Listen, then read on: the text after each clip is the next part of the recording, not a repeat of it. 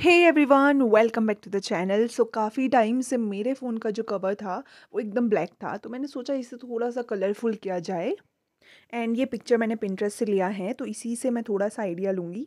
And uh, मेरे पास अभी fabric colour almost ख़त्म हो चुके हैं। एंड मेरे पास अभी एक्रेलिक कलर्स है ट्यूब वाले।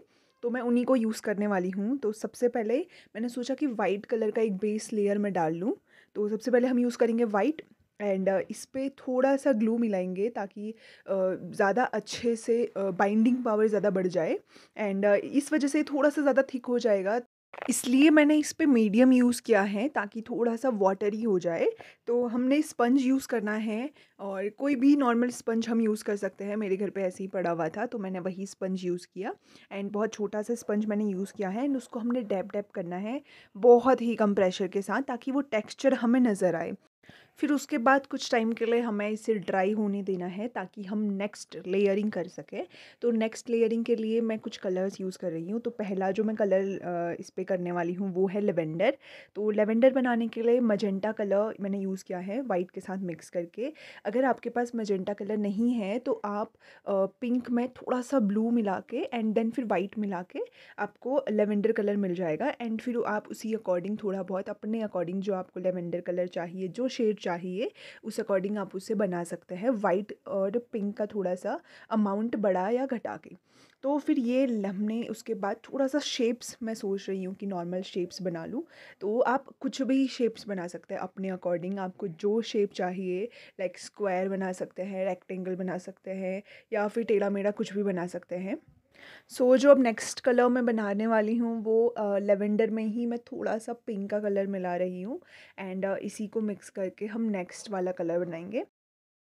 शेप्स आप अपने अकॉर्डिंग कैसा भी दे सकते हैं जैसा आपको चाहिए। तो मैंने थोड़ा सा नीचे सर्कल हाफ़ सर्कल दिया हुआ है तो वैसे ही मैं सोच रही हूँ थोड़ा सा यहाँ पे भी मैं ऐसे बना लूँ। सो so, अब नेक्स्ट कलर जो हम बनाएँगे हमने यही कलर जो हमारा ये पिंकिश वाला कलर है इसी पे मैंने मजेंडा कलर मिक्स कर लिया है तो ये थोड़ा सा डार्क हो जाएगा क्योंकि बैलेंस्ड हो जाएगा तो और हमने लाइट बनाया हुआ है तो ये हम थोड़ा सा डार्क बनाएँगे। बट मुझे जो शेड चाहिए ना, वो नहीं मिल पा रहा है। मुझे थोड़ा सा एक्स्ट्रा डार्क चाहिए तो इसलिए मैंने इस पर थोड़ा सा पिंक कलर मिलाया है। एंड पिंक कलर मिला के थोड़ा सा ज़्यादा पिंकिश हो चुका है तो मैंने अभी मजेंटा कलर फिर से मिलाया, ताकि थोड़ा सा ये इसको डार्क टोन दे। एंड अभी एकदम रेडिश मजेंटा कलर बन चुका है। एक्चुअली मुझे नाम नहीं पता ये कौन सा कलर है।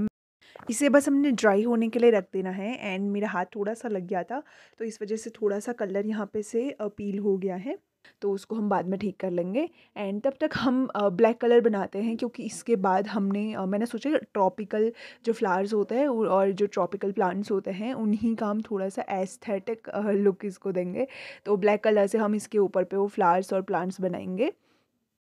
सो so, अभी ये ऑलमोस्ट ड्राई हो चुका है तो अब हम फ्लावर्स और प्लांट बनाना स्टार्ट करेंगे। एंड ये बहुत मुश्किल काम है क्योंकि ऑलमोस्ट हमने इतनी मेहनत कर ली है। एंड अगर अभी थोड़ा सा ख़राब हो गया तो फिर हमें सारी चीज़ें दोबारा बनानी पड़ेगी। एंड uh, इसी को सोचते हुए मैंने सोचा कि थोड़ा सा you you know know, uh, एक और स्टाइल होता है आर्ट का जिस पे थोड़ा सा रफ़ लाइंस होती हैं।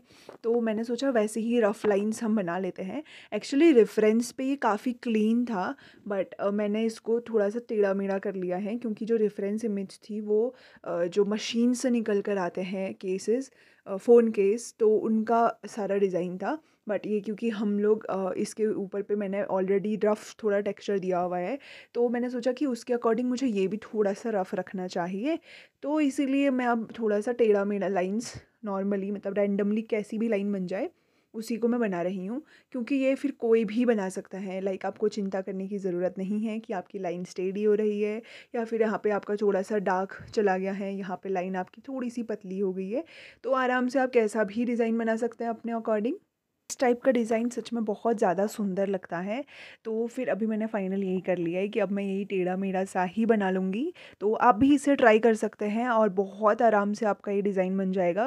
लाइक मैंने नॉर्मल ही कुछ कुछ प्लांट्स बनाए हुए हैं। तो आप इस पर फ्लावर्स ऐड कर सकते हैं क्योंकि आ, मैंने ऑलरेडी प्लांट ऐसे बना लिए थे कि मैं इस पर फ्लावर ऐड नहीं कर पाई। तो आप उसे भी ट्राई कर सकते हैं एंड आप अपने अकॉर्डिंग अलग शेप दे सकते हैं अलग डिज़ाइन कर सकते हैं और बहुत आराम से आप इसे बना सकते हैं। सो so, हमारा फ़ोन कवर ऑलमोस्ट कंप्लीट हो चुका है एंड मैंने इसको फिक्सेटिव स्प्रे से फिक्स भी कर लिया है। तो मुझे पर्सनली सच में बहुत पसंद आया ये कवर आपको कैसा लगा कमेंट सेक्शन पे बताना मत भूलना। सो so, मिलते हैं नेक्स्ट वीडियो पे। Till then goodbye take care